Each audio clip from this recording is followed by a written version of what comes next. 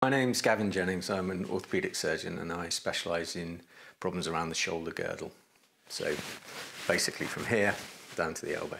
Overall, um, any shoulder surgeon um, will see uh, about 70% of their patients rather will be um, presenting with problems with what we call the rotator cuff, which are the deep tendons around the shoulder.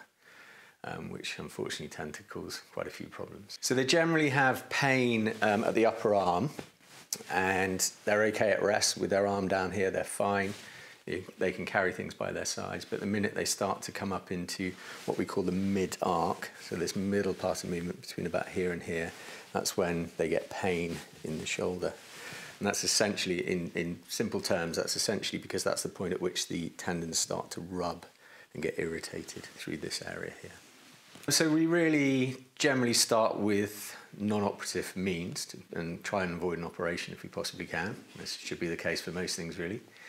Um, so physiotherapy is important. We'll often use uh, steroid injections as well, um, cautiously, um, to try and reduce the inflammation in the tendons. Um, it's slightly different depending on what the cause of the problem is. So if somebody's had a, a good shoulder, um, they, they fall or have an injury and then tear that rotator cuff tendon, then we're more likely to think about operating to fix it, to put it back where it came from, um, as opposed to someone who's sort of progressively got pain, you know, maybe from a bit of overuse. Sometimes people come in, they've cut their hedge, um, you know, after it's uh, got out of hand spend a lot of time working up in this mid-arc zone where the problems occur and that can generate pain. Um, and then it just fails to settle. Um, and the way we think of it is that once the tendons get inflamed, they're a bit swollen. If they're a bit swollen, they tend to continue to irritate um, because of the space through which they can move is a bit limited. Um, but in reality, it's probably a bit more complicated than that. Um, when the tendons aren't working, um, everything starts to go a bit awry. The shoulder blade control is affected, and you propagate the problem and it fails to settle. One of the reasons I ended up going into orthopedics is because generally we do have quite a big impact.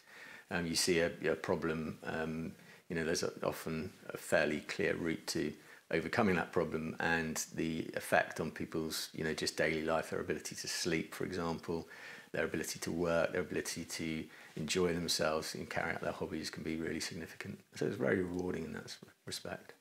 I like the feel of the place. Um, the staff are uh, friendly. Um, it's a nice environment to work in. Um, it's a sort of, you know, particularly on a day like today, you, you won't see it from here, but it's beautifully sunny. Um, it's the sort of leafy surrounds. Um, it's, a, it's just a very um, calming, nice environment. Shoulder surgery over the last 10 or 15 years has, has just sort of been stratospheric in terms of development. Um, there's a few things I've been involved in personally um, in recent years, for example. Um, so uh, I did the first um, arthroscopies in, in the clinic environment with the patient awake, um, literally in the clinic room. Um, the first ones in Europe. I did the first uh, computer navigated shoulder replacements outside of the trial centre, which was in Liverpool. So outside of that, I did the first one. So I try to, you know, keep my eye on um, developments um, and, you know, not all of them make sense to me. So I'm not going to be, I'll, I'll leave some things for other people to sort of try first. And, you know, if it does work out to my surprise, then, you know, might be adopting it later. But um, I try to keep, uh, you know, be avant-garde in terms of developing technologies.